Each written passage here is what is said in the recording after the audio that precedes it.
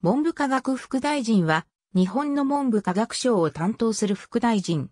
副大臣執務室中央省庁等、改革基本法に基づく中央省庁再編により、2001年1月6日に文部科学省が設置された。それに伴い、文部科学副大臣が新設された。同日付で第二次森改造内閣が発足し、衆議院議員の大野義則と河村武雄が任命された。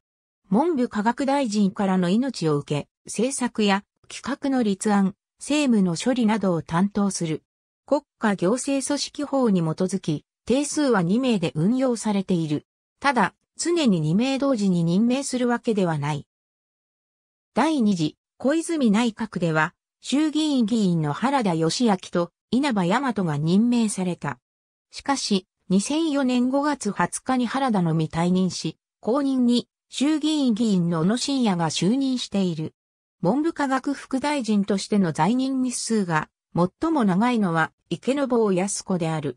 池坊は安倍内閣にて文部科学副大臣に任命され、それ以来安倍改造内閣、福田康夫内閣の計3内閣にて文部科学副大臣を務めた。また、文部科学副大臣としての就任回数が最も多いのは鈴木博士である。